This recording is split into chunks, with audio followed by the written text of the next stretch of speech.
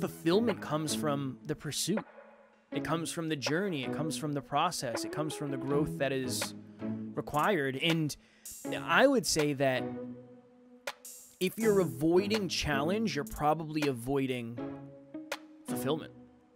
If you're avoiding vulnerability, you're avoiding one of the best things in the world, which is deep emotional connection with yourself and others, particularly your intimate partner. Next Level Nation, welcome back to another episode of Next Level University, where we help you level up your life, your love, your health, and your wealth. We hope you enjoyed our latest episode. It was episode number 1499. Forgiveness is a complicated thing. And in that episode, I think we said that many times because it is complicated. Today, happy Wednesday for episode number 1500, 1000. 500. The top five lessons from said 1500 episodes. 2017, this journey started. I believe it was April, I don't know, April, I don't know, April 15th or something, 2017. A young kid named Kevin Palmieri, who had just been interviewed on a YouTube show hosted by one Alan Lazaros, started a podcast. He ordered the stuff he needed What, from what Amazon. was the name of that show? Which the one, one? that you were interviewed on. Uh, it was called Conversations Change Lives, Yeah, they do. I believe. They do. I believe. Yeah. So I went home after that. After Alan interviewed me on fitness and mindset and grit, I said to our buddy Cope Daddy, who was in the room with us, Imagine if you could do that for a living. That'd be pretty cool. And he said, Well, there's people that do. So I proceeded to buy the equipment shortly thereafter. I got a mixer. I went on Fiverr or Upwork and had somebody make my my logo and I was off to the races. Learned how to audio edit. Cool, here we go. And here we are 1500 episodes later and a lot has changed. We have interviewed amazing people and we've been interviewed by amazing people and we have a thriving business and an amazing team and I'm married and it's wild how much has happened. We've been very very very very very broke. It's been a lot Oh, of yeah. a lot of A lot of ups and downs. a lot of here, ups huh? and downs. So today, we're going to talk about the top five lessons. Now, usually, Alan and I would take time behind the scenes and say, all right, let's, what are the top five lessons we really want to get across? Let's take a little bit of time to mastermind. I challenged Alan and said, let's just show up and do it because We're ready. I think we're ready. And I don't really want it to be, let's take a bunch of time and think. I want it to be what, from the heart, what really feels like it was a lesson, even if it's not a personal development lesson. It might be a lesson about yourself or a lesson about growth or whatever it may be. So that is our goal in today's episode. Is there anything you want to say before we get going? So the only thing that I want to add is this journey has been unbelievably challenging, but also unbelievably rewarding. We started from two young boys. We went to middle school together. We both didn't have fathers. We were both raised by two women. His mom and his memes, my older sister and my mother, and two young boys without fathers eventually start this big dream, this journey. And uh, for a while there, we had Conversations Change Lives meets Hyperconscious podcast, and then we chose to pick one of those names because the them combined is probably the worst podcast title of all time. So we hold that record. And we did Hyperconscious, and we did, to his point, interviews. We traveled a ton. It's just been wild. So we met someone named Anthony Trucks, and he said a quote that I'll never forget, and I'll always quote this because it's so good. What you create creates you. What you create creates you. And this podcast was what we needed. And creating this podcast, creating these episodes, creating these lessons and these stories and these experiences and unpacking all of this for 1500 episodes. Some of them are hour and a half long early on, some of them are 10 minutes long. I think we even had some 5 minute ones back in the day. Five minute clinic, son. Five minute clinic, I believe it was How called. We dare used to you. so for the new listeners, I just want to share this real quick. Blast from the past. We had a five minute clinic. We had a scratching the surface. We had small talks. And then we had a guest interview. And then we also had Motivation Monday for a For while. short- for sure. we actually time. put we put uh, music behind, and Kevin and I would just rant on grit or whatever. Then we realized that you didn't like it very much, judging by the stats and the analytics. So we canned it because we, We want it. we want it to be as valuable as possible. podcast for the people by the people about the people all right so to kevin's point there was a time when we were interviewed on evan carmichael's youtube channel and it has 3.6 million subscribers and the reason i say that is because it was kind of a big risk up to that point we had always prepped questions and we always prepped a lot in advance and makes sense i think you do that i think that makes sense when you're new and i i told kev we told a story recently on the Mm. i think last week but I said, We're ready, man. He's like, What do you mean? I'm like, Can the questions. Let's just go in there and let's interview him from the heart. And so Kev just reversed that on me right before this because I was like, Okay, we got to come up with the top five things that we learned from 1,500 episodes. And so I decided to talk long winded and buy us some time. I could tell. Yeah, I was gonna say. Very curious to see where this is gonna connect. Is it gonna connect at all? Well, I so think to put it back on you, good sir, yeah. what is what is one of the top five lessons that you have learned from this 1500 episode journey the journey of a mile no Yeah. no a journey of a thousand miles begins with a single step the journey of 1500 episodes believe it or not be- begins with a single episode Technically, floor is yours technically speaking, the journey of anything st- starts with one step. It doesn't have to be a thousand miles. It could be two steps. And it start. It does start with the first step, no matter what. yeah but those single other quotes aren't as famous I know, but that's gonna be mine. The journey of two steps must start with one first. excellent pretty that's good. what you learned No, no. What I learned is fulfillment comes from the process of chasing something, not necessarily the process of accomplishing something. I I think back to so at this point we have spoken on many different stages, but my favorite one is always Next Level Live, where we have our own event. We rent out a a ballroom in a hotel, and we have it's just amazing. The team comes in, we rent an Airbnb. It's awesome. It's amazing. But it also is like the most stressful thing of the year, pretty close. And I always have this moment when we're done where I haven't eaten all day.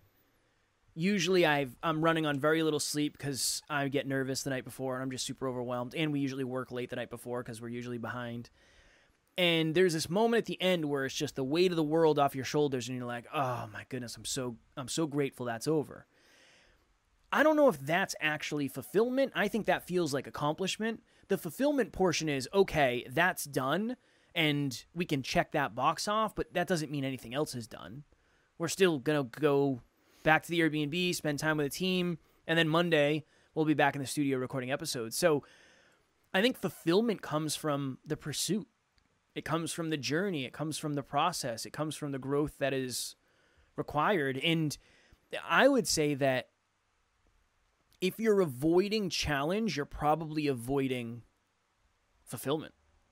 That would be my that would be one of my initial lessons. We this has been the most challenging journey ever. It's been unreasonably hard, very humbling, traumatic at times, but it also has been the most fulfilling thing. And if you if I had to do it all over again, I would. If you said, "Hey, we're going to take all this away and you have to do the same thing you did better." I'd be like, I'm not happy about it. Obviously, I wouldn't be excited to lose everything we have, but I do know that I'd be fulfilled doing it again. Yeah, fulfillment. Nice. Yeah. Usually I'm the one talking about fulfillment. Well- but again, this is from the frame of what we've learned, right? So fulfillment's always been kind of a study for me. Hmm. I didn't even So know what it for was me- in the beginning. I had no idea what fulfillment was. I know. No clue.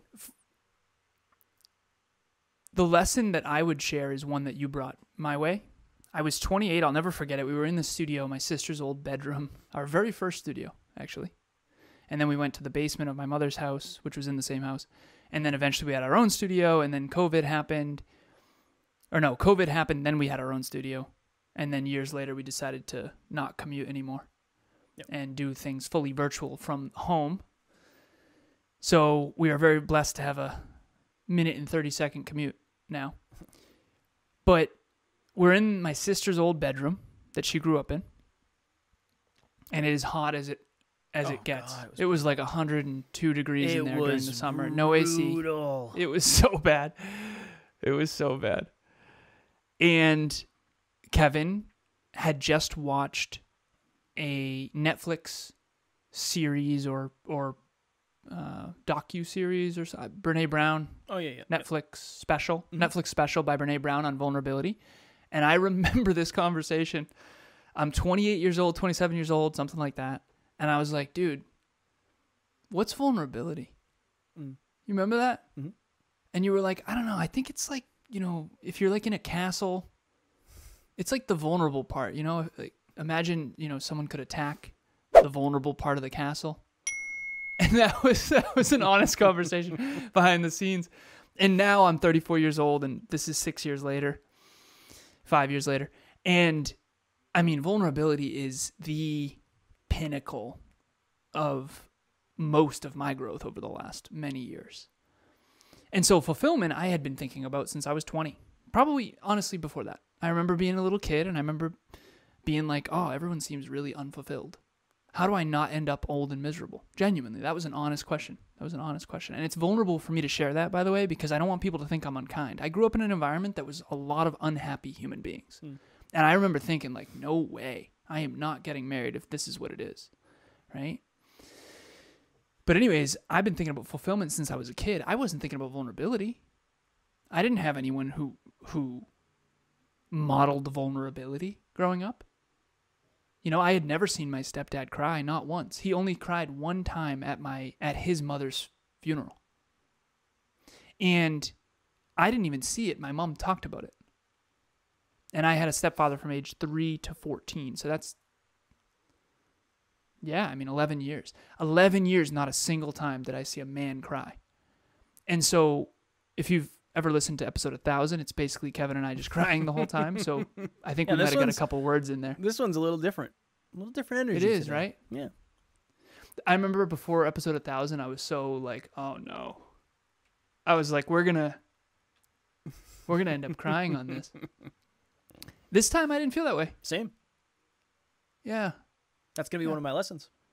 Stick around. Oh, stick around for number 5 is my favorite. Maybe Alan won't say like 15 more times. Okay.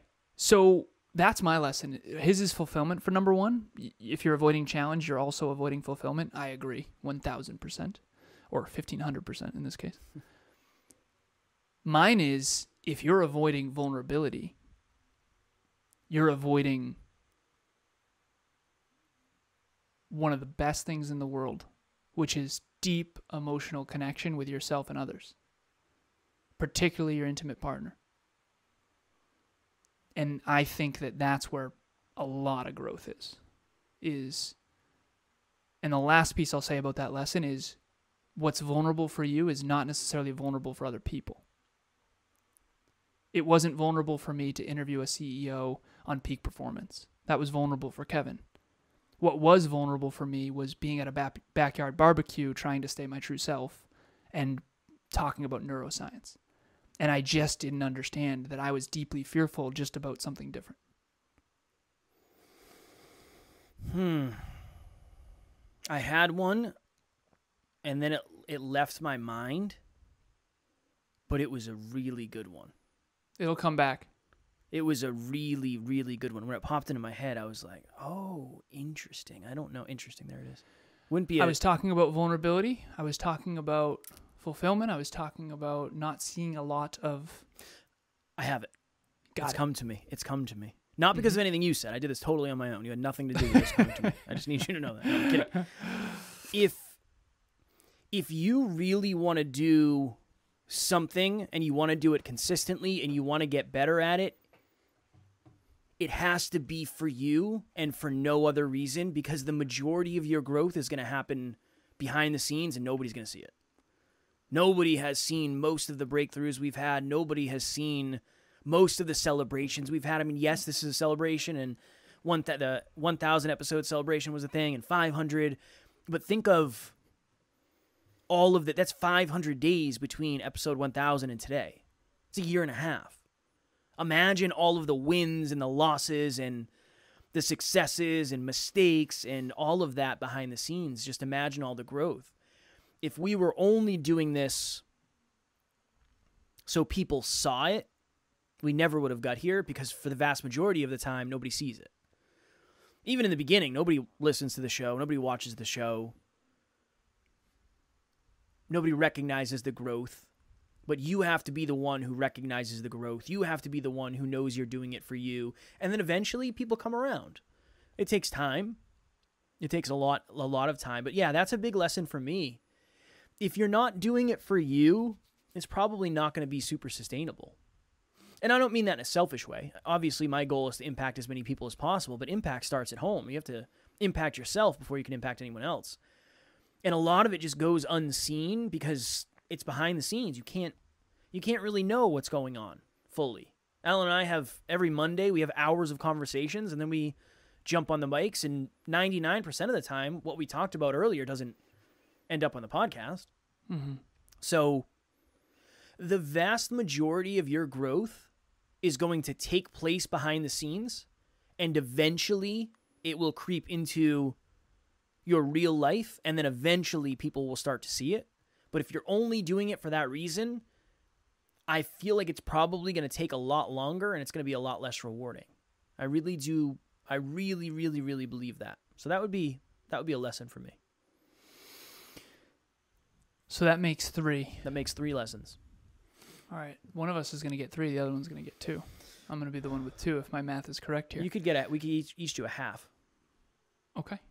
Okay. I mean, it's all right. We can make the rules. Or right? we agree on one. I think we could probably come up with one that it's like, ooh, that's the one. Okay. So this next one,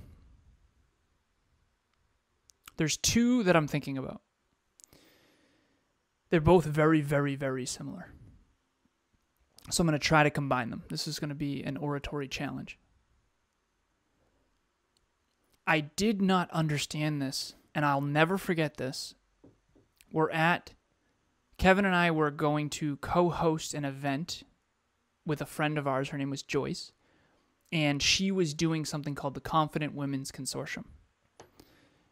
Which at the time I didn't really think about this, but now I realize that's kind of interesting. Two guys speaking at the Confident Women's Consortium. My Yeah, aunt yeah. ended up bringing that up actually. But, anyways, inclusive, inclusive. So, in order to do the best we could at co hosting that event, we went to one of them because this was something that was every quarter or every month, I forget. And we met someone named Shauna, and she gave, gave a very powerful speech and she asked for a volunteer and my hand shot up and she had me go up and do a meditation put my hand on my heart close my eyes and she talked about go back to a childhood memory when you were challenged and she had me heal and forgive i think it was a 14 year old version of myself and I cannot verbatim describe exactly what this meditation was, but I do know that it talked about the five deepest fears. And one I don't remember exactly what the fears were. One of them was fear of failure, one of them was fear of success, one was fear of judgment, one was fear of I think being alone. There was another one. There was five main deepest fears, quote unquote. But I do know one of them was fear of failure and one of them was fear of success. And she was talking to me in this meditation about my deepest fear. And I forget how this happened, but at one point Kev ended up raising his hand and shouting out, "Ask him if he's afraid of his of success." Because before that, you had never really thought of that, but didn't that intuitively you knew. Yeah. yeah, intuitively you knew that was the case, because you'd been around me long enough at that point to realize I'm not afraid of failure. Fail forward was our motto from the get. Just just messy action. Fail, fail, fail, fail, fail. Whatever, is what it is. During this episode, the Wi-Fi cut out during it. You know. Hopefully in post production we don't even notice, but now you know. Also, your this in- camera is doing the thing where it gets like super bright and then it doesn't. I know. I have no idea why. Put your take your hand and put it up to the thing all the way up, like block it with it all the way, all the way, all the way, all the way. Now See pull it away. Yeah, you got some calluses going. Sometimes that fix that'll fix the lighting. I don't. I can't guarantee whether it will or not, but Okay. Hi, my name's John Laurito, and I just wanted to uh, give a big shout out to Kevin Palmieri. I had uh, reached out to him. He had been referred to me when I had shared with a friend of mine some interest in uh, doing a podcast, and he said, "You've got to use Kevin. He's fantastic. He's the best around. He'll get you started and off the ground and and uh, soaring high. Uh, Kevin was phenomenal in terms of leading me through the whole process and not just easy to work with, but really, really knows his stuff. So whether you're looking for somebody to, to help you and get you started or somebody as I've done where I'm putting it entirely in his hands because I've got total trust and confidence in him, any of those ends of the spectrum, you're going to have a lot of success and a lot of fun working with Kevin. Trust me. Thanks. So Kev shouts out, ask him if he's afraid of success. And she did, and it ended up being very triggering and very true. So my third lesson, fourth lesson, this is fourth. This is the fourth lesson, yep. Is that everyone is fearful. And there's we all have this little comfort zone, this little picture of pendulum. And I've talked a lot about this, but hopefully it lands more powerfully this time. Everyone is afraid of failure or afraid of success. I do believe that everyone is afraid of both, but some of us are heavier on one end or the other. I believe that there's a larger percentage of Kevin that is afraid of failure than the percentage of him that's afraid of success. And I believe there's a larger percentage of some people that are afraid of success more than failure. And now here's why belonging. I never knew what belonging was. I never understood what belonging was. Now I understand that belonging is feeling seen, feeling heard, feeling understood, and feeling appreciated. And we all crave it at the deepest level. Whether we admit it to ourselves is another story, but we all crave it at the deepest level. And we crave belonging so much that we want to be, we don't want to be a failure to the extent where we aren't seen as successful by our peers but we don't want to be so successful that we get ostracized by our peers either. And so this is why I think the Jim Rohn quote exists of you are the sum average of the five people you spend the most time with. In other words, you're afraid to be a failure in the eyes of your peers because you won't belong, but you're also afraid to be more successful than them too. So if you have high self-belief and super high competence and super high confidence, you're afraid of success, most likely, because you're afraid to be ostracized from your peer group or from your family. If you don't feel competent and don't believe in yourself, you're probably afraid to be outgrown. So, all of us, I believe, this is the lesson, all of us are either afraid to outgrow others or afraid to be outgrown. And I've never seen an exception to that when you dig underneath into someone's deepest emotions, deepest fears everyone I know is either more afraid to outgrow others or more afraid to be outgrown. And I've had some people who were afraid to be outgrown actually flip the switch and now they're afraid to outgrow other people as they started to believe in themselves more. And so that's my f- lesson number four. Let's do. We'll each do a half lesson, even if it's not a half lesson. I, I want to make sure it's even. Yep. This one just came to me. I've never thought about this until this very moment. Okay and um, this a lot of this is based on being on other podcasts mixed with this one. So 1500 episodes of this show has allowed Alan and I to do a lot of things that we just would not have had the opportunity to do. This has opened a lot of doors and given us a lot of opportunities. This is this is the bold statement. Overcoming something isn't real. A lot of people say, "How did you overcome your fear?" I didn't. I'm still afraid. I'm just less afraid than I used to be. How did you overcome your discomfort of judgment? I didn't. I never I didn't overcome it. I didn't overcome imposter syndrome. I just got more familiar with it and it got less and less and less and less. I don't know if there's any such if there's anything final about growth. There is no finality. Nobody ever has come up to me and said, "Hey, how did you get If somebody says, "How did you get strong?" That's drastically different than saying, How did you get the strongest you've ever been? Because there's always going to be an answer. Well, I did this and I did this and I did this, but I have a long way to go in order to get as strong as I want. I don't know if you're ever actually at the destination that you desire. I don't know if you ever get to the point where you say, I am confident. I am not afraid of judgment. I am over imposter syndrome. I don't think that ever exists. I just think you get more and more and more comfortable with it. I don't know if the fear ever really goes away. I don't know. Maybe I'm I could be wrong about that. I mean, Think about somebody who jumps out of a plane for a living. I doubt they're afraid of heights. At that point, I don't know. But there's still moments where I get nervous on our show. I still get nervous. I'm not I haven't overcome the fear of judgment. I think about what you're thinking of me, whether you're watching or listening all the time. I always am. I think that's just human nature.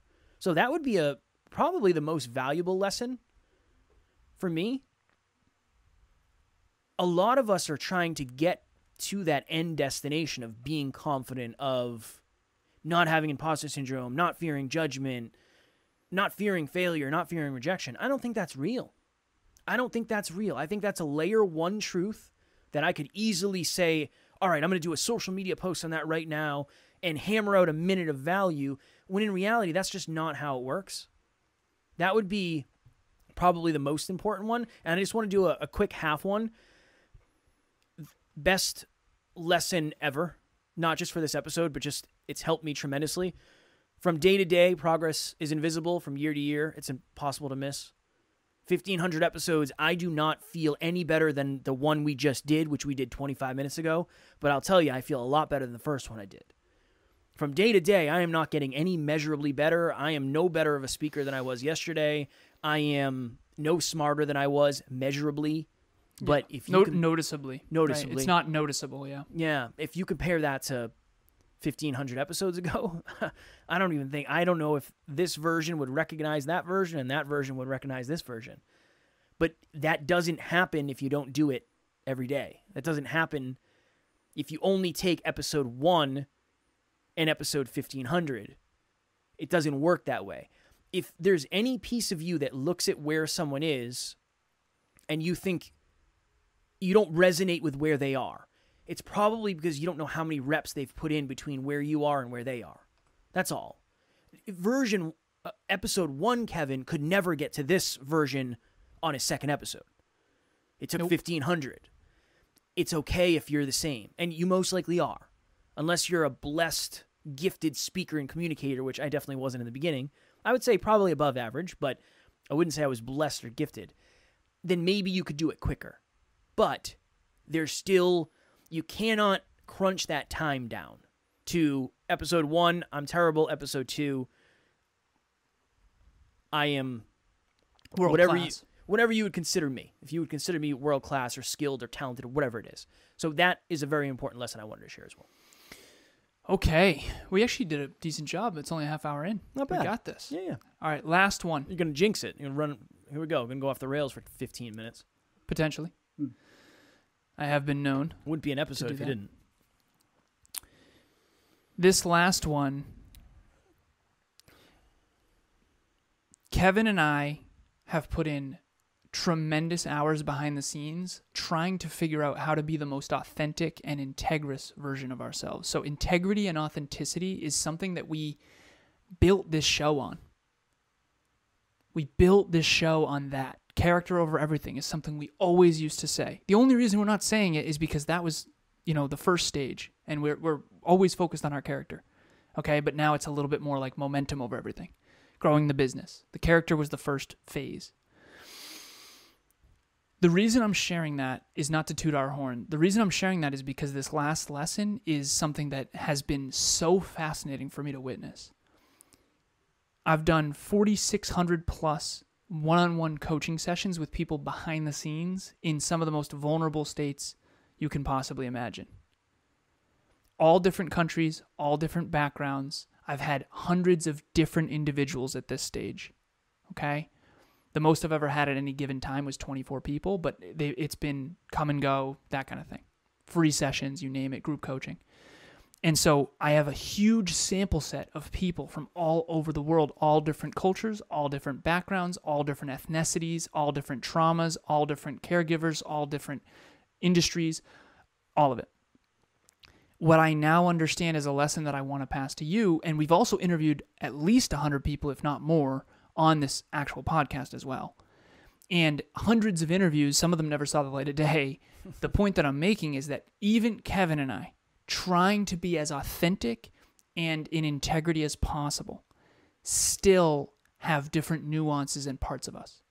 So, what I'm saying is that the version of these people that you're seeing. The version of Kevin and I that you're seeing right now is not the whole truth. It's as close as we can get at this frequency, at this moment. But what I now understand, and I have an IFS therapist, and if you've never looked up IS- IFS, now is your chance. It's called Internal Family Systems. I finally get it. We ha- all have different parts. And I'm not going to go deep onto this, but you have managers, you have firefighters, you have exiles, and you have your true self. We all have different versions of ourselves.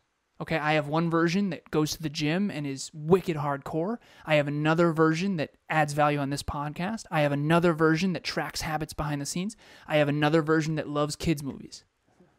Okay, so it's not that anyone is trying to be inauthentic, it is that they are showing you a version of them that cannot and will never be representative of the whole. And I think that it's important for all of us to know that because the, the lesson is this on social media, people tend to be a version of themselves. But that is not, you cannot compare your whole truth to their version.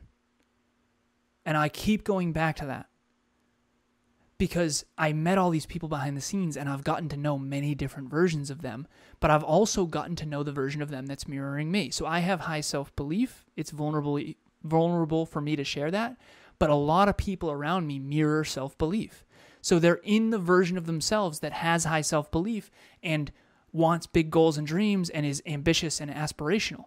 So I live my life in an echo chamber of people who believe in themselves and have big goals and dreams, and I think that that's true, that whole version of them.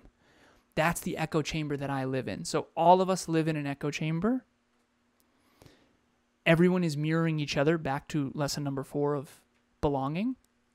And so if everyone wants to belong at their deepest level and everyone is mirroring each other's parts, you and I and Kevin all live in our own unique echo chamber and we have to at least understand that so that we can try to think outside of that box, so to speak.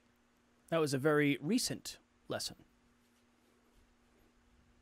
Been talking about that a lot behind the scenes.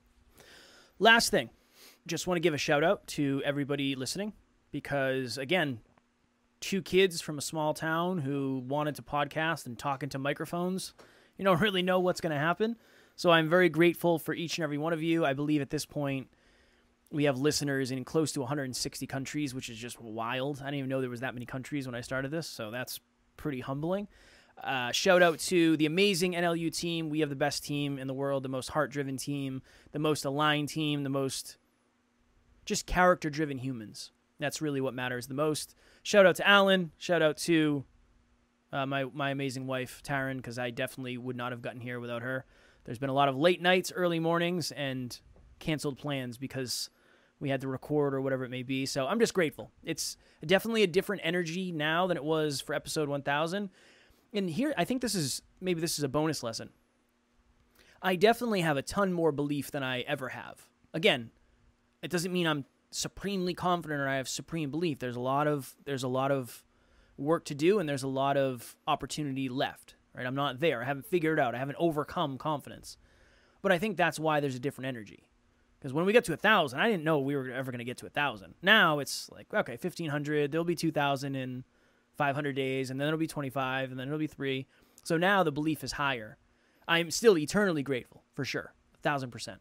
But I did know we'd make it here when we got to a thousand, so it wasn't as much of a surprise. That's why we're a little bit, or me specifically, I'm a little bit calmer energy. But I'm just grateful. I'm very grateful we get to do this for a living.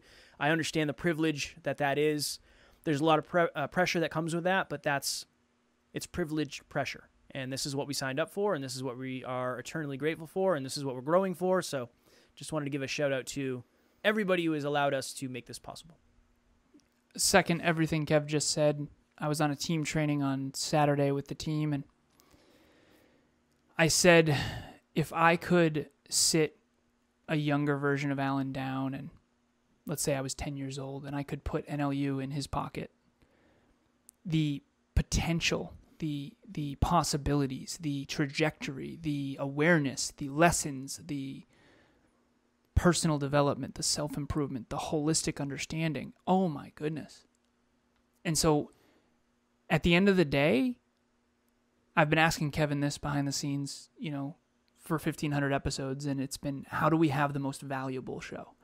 How do we have the show that Im- helps people improve their lives the most? If you improve yourself, you're going to improve your life. And if you focus on great ideas and great insights and great lessons and what you focus on is what you're going to get. And I I just imagine a little kid. I have one client who's was 17 when I first started coaching him, and I imagine NLU in his pocket and what is possible with NLU, the train tracks that we can help you help guide you. I just hope we've guided you well. That's at the end of the day, that's what I've always cared about most. And I'm not just saying that now in episode 1500. That's what I've been prodding Kevin with behind the scenes for 1500 yes. episodes is yes. I don't care if we have the most listens. I care that our show is the most useful.